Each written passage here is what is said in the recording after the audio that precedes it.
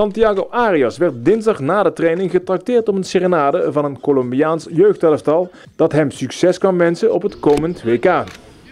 Een dag later speelde Arias de hoofdrol bij een opstootje met ploeggenoot Peter van Ooyen. De twee gingen elkaar tijdens een felle partij 5 tegen 5 iets te hardhandig te lijf. Het bleef bij wat duw- en trekwerk, waarna beide spelers naar de kleedkamer werden gestuurd.